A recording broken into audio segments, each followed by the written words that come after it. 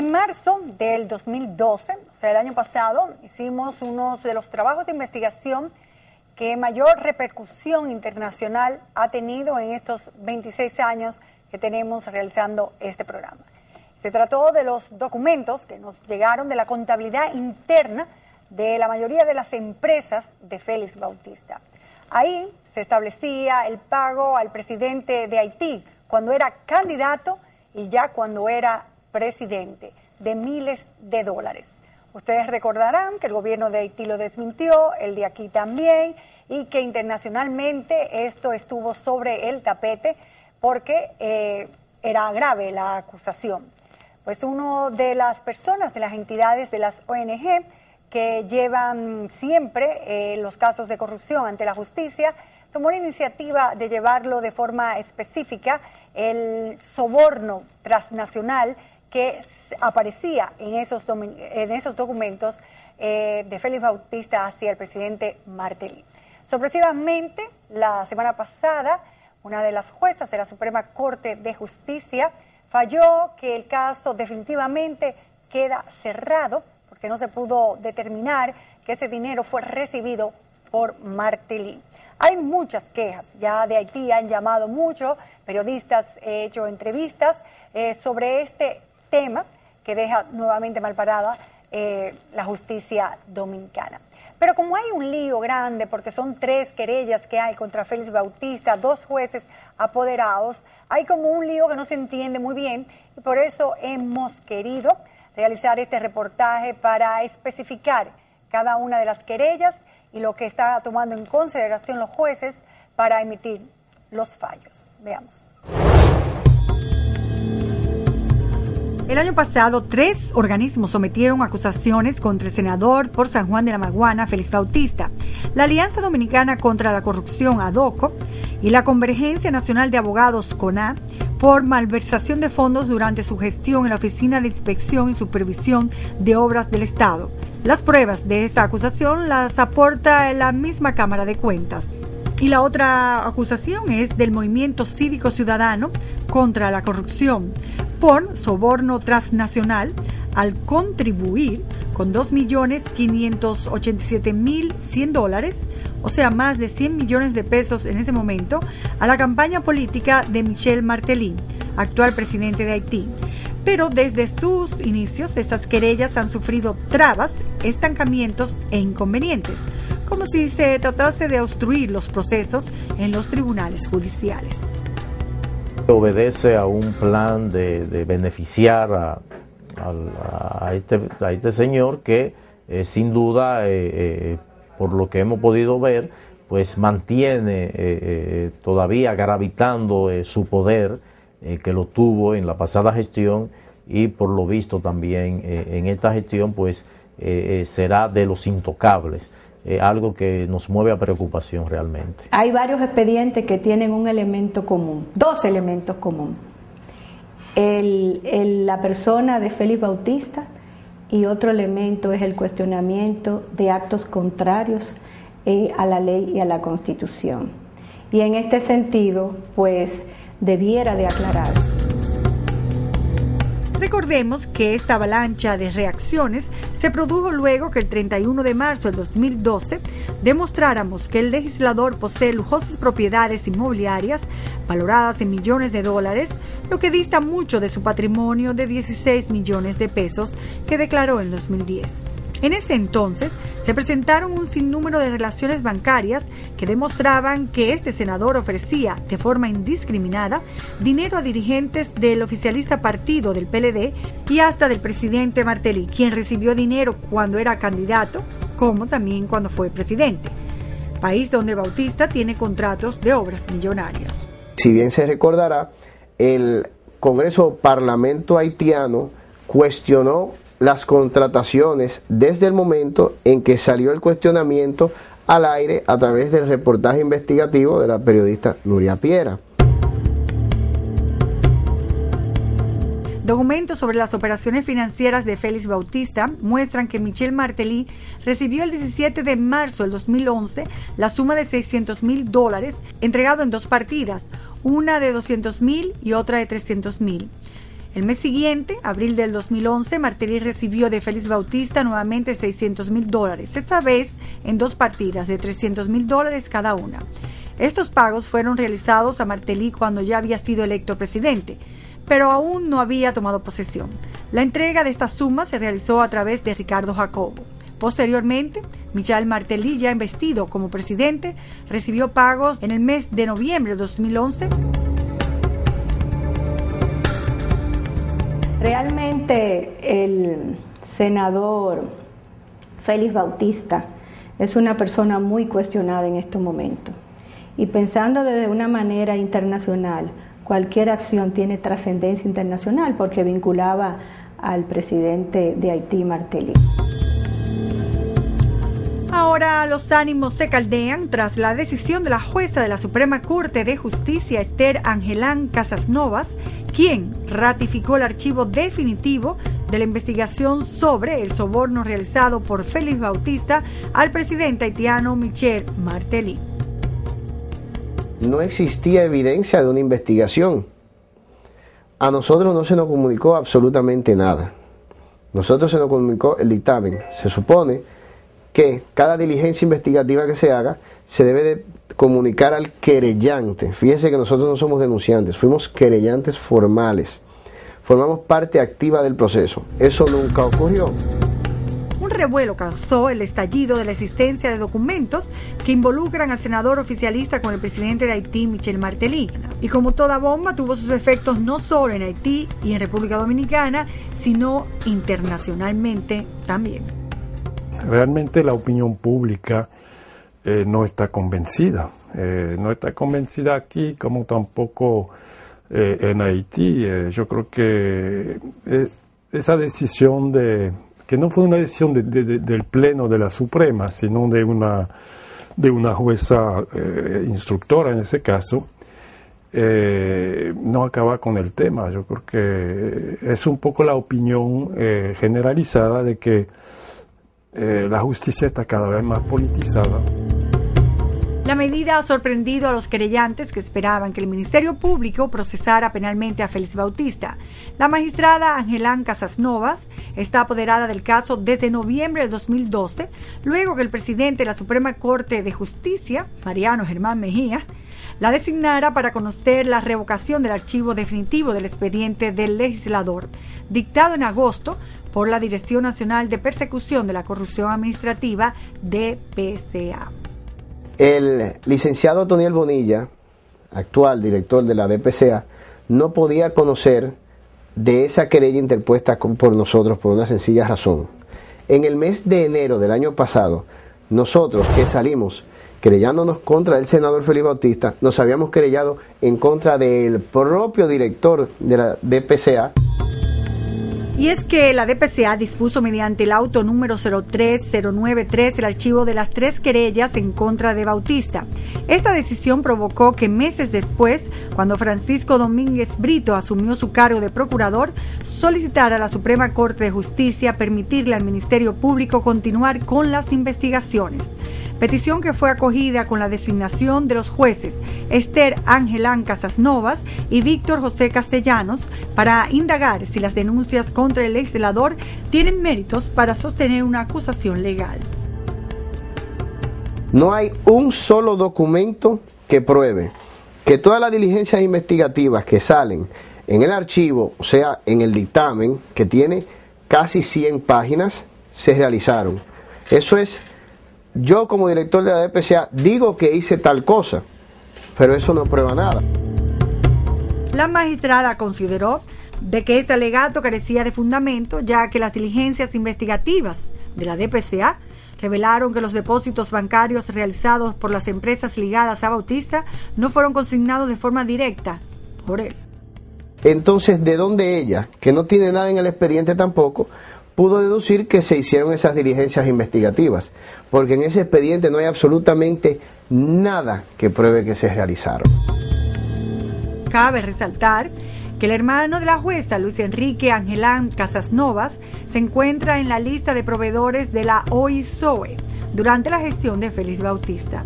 pero le rescindieron supuestamente los contratos ascendiente a 9 millones de pesos para la construcción de distintas obras. Es tan tal que la única noticia periodística que publicó en su cuenta de Twitter fue precisamente la decisión de su hermana de archivar definitivamente este expediente. Parece ser que le gustó la sentencia de su hermana. También la jueza Angelán Casasnova argumentó que los hechos alegados como perseguibles no encajan en el tipo penal enunciado en la ley, por lo que procede a ratificar el archivo. A su juicio, no hay pruebas de un soborno como tal, pero el movimiento cívico ciudadano contra la corrupción piensa de otra forma. Soborno transnacional es un crimen sancionado con 10 años de prisión que se encuentra tipificado en el artículo 4 y 5 de la ley 448-06 de la República Dominicana. Según Pichardo Juan, la simple lectura del contenido de dicha sentencia implica un trastorno de todo el sistema procesal penal. Atribuye las trabas, en el caso, a esto. Las implicaciones políticas que tiene esa investigación a nivel local son muchas porque se crearía un conflicto con el actual presidente. Fíjese lo difícil que ha logrado intentar procesar al expresidente de la República Dominicana, eh, doctor Leonel Fernández Reina. Entonces, también existe en contra de esa acción el obstáculo en cuanto a pruebas se refiere, por una sencilla razón. Es la única que no depende de la auditoría de la Cámara de Cuentas. A diferencia de la denuncia del movimiento cívico ciudadano contra la corrupción, las otras dos denuncias contra Félix Bautista están basadas en las investigaciones de la Cámara de Cuentas. Ese informe final no ha sido eh, dado a la luz pública por la Cámara, por la Cámara de Cuentas. Nosotros tenemos la sospecha por informaciones que se nos han dado de que están maquillando ese informe final. Sobre las otras querellas en contra de Bautista, la de Adoco y la de Cona, la segunda sala de la Suprema Corte de Justicia aplazó para el 15 de marzo el conocimiento de un recurso de apelación en contra de la decisión del magistrado de ese tribunal, Víctor José Castellanos, quien revocó el archivo provisional de una de las demandas, la de Adoco.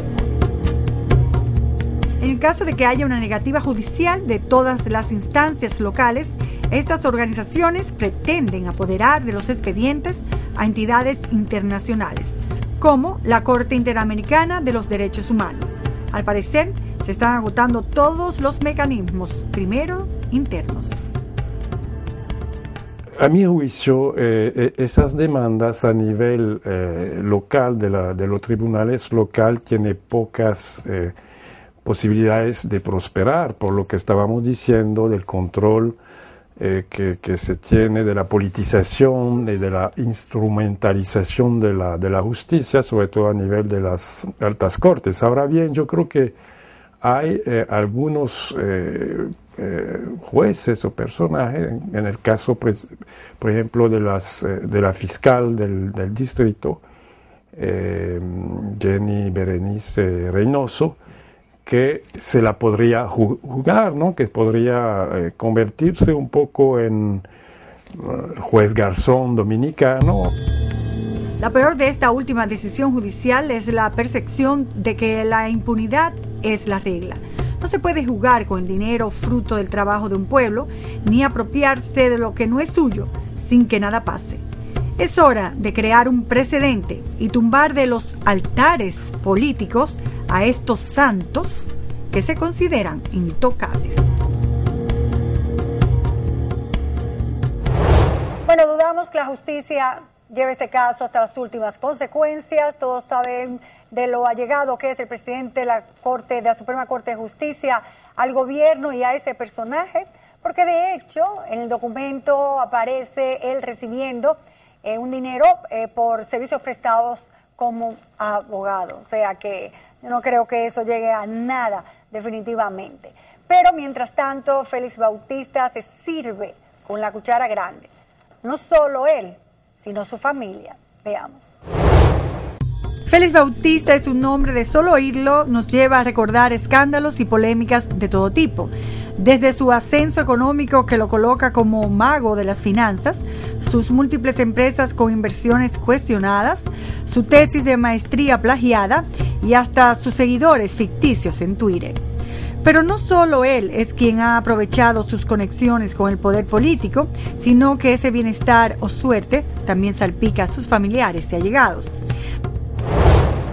Tenemos en nuestro poder una copia de la certificación de la resolución del Consejo Estatal del Azúcar, SEA, del 22 de noviembre del 2006, donde se aprueba la venta de 50 expedientes en el proyecto Pelona, a razón de 110 pesos el metro cuadrado.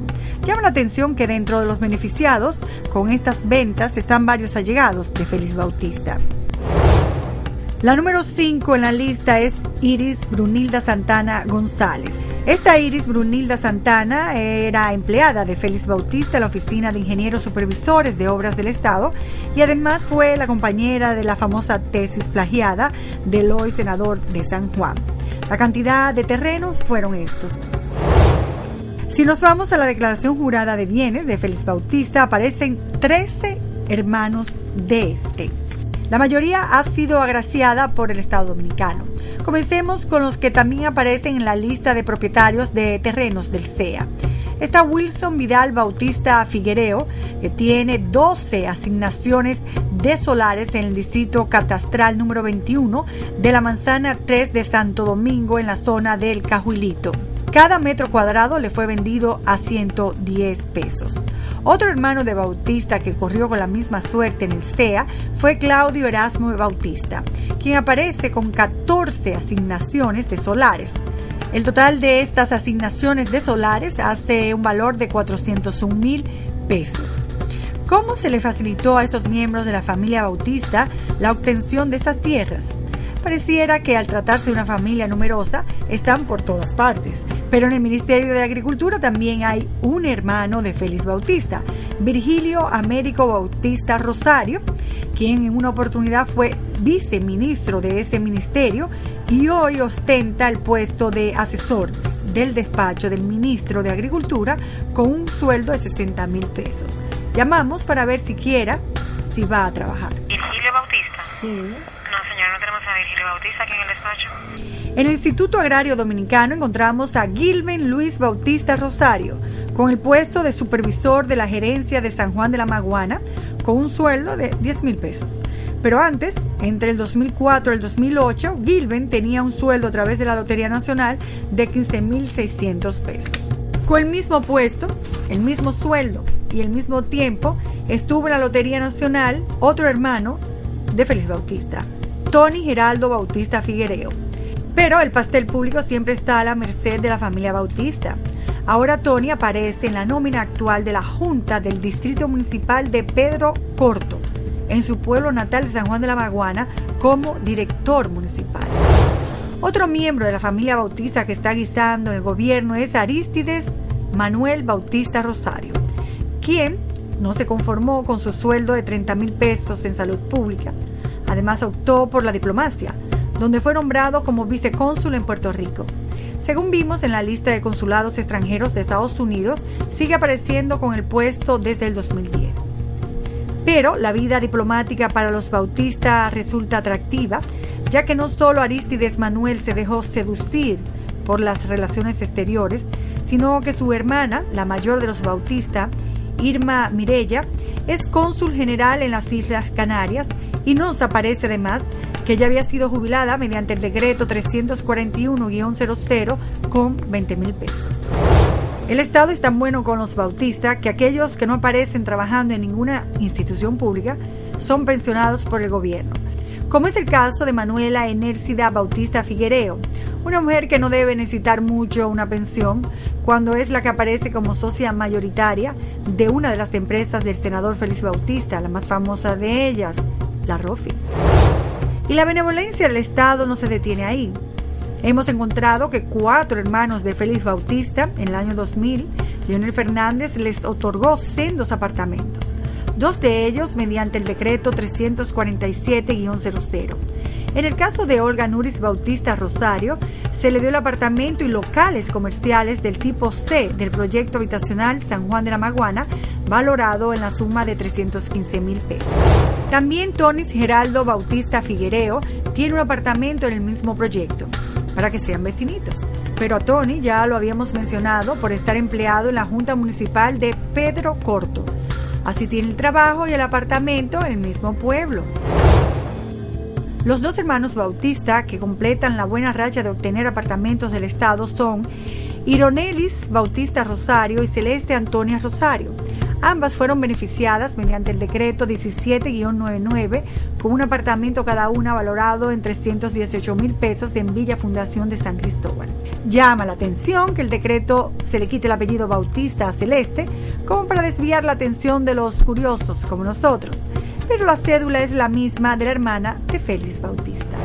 Y así los Bautista han esparcido sus raíces por gran parte del estado. Son una familia que ha sabido amamantarse muy bien con la red pública.